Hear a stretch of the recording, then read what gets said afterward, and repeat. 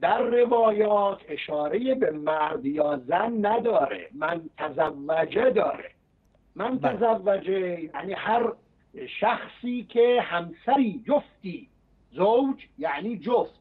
هر کسی که جفتی برای خود انتخاب کرد این انتخاب جفت سبب میشه.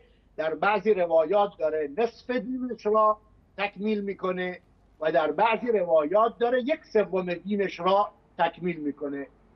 اونی که تو ذهن مردم هست جنبه غریزیه. تو ذهن مردم اینه وقتی که من ازدواج کردم از نظر غریزی اشباع میشم. از نظر استقرار زندگی کسی رو پیدا می‌کنم که من چه چشمم با او معنوس باشه. نرم دیگری رو ببینم. همه ذهن این است که دیدن حرام انجام فعل حرام. اینا تو ذهنه. در حالی که مسئله حفظ سلسدی و نصف دینانی دین همش غریزه نیست. ببینید خداوند دوره را برای بشر که مرد و چه زن دوره گذاشته. شما می‌خواید یک رشته یک کاری رو یاد بگیرید یک صنعتی رو می‌خواید یاد بگیرید. ببینید کلاس کلاس تمام ریزکاری ها صنعت را شما یاد میدن. ازدواج هم یکی از همین مسائله.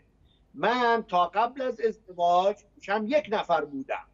اما بعد از ازدواج من شدم با یک شخص دیگر.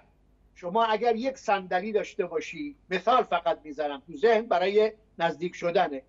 یک صندلی داشته باشی تو این صندلی صندلی یک نفره هر جوری که شما بشینی نیازی نداری. ببینی که جات درست یا جات درست نی خودت اگر راحت بودی راحتی جاتو عوض می‌کنی کم و زیاد میشینی هر جوری که بشینی.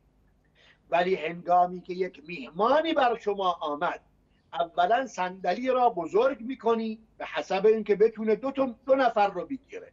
و ثانیا در صندلی دو نفره مبل دو نفره هم یک جوری می نشینی که بغل دستی شما راحت بتونه در کنار شما باشه.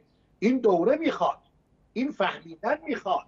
این جور نیست که زندگی فقط این باشه که خانم ها مسئولیت داخل زندگی رو به عهده بگیرن و آقایان مسئولیت بیرون رو به عهده بگیرن. فقط اینا نیست.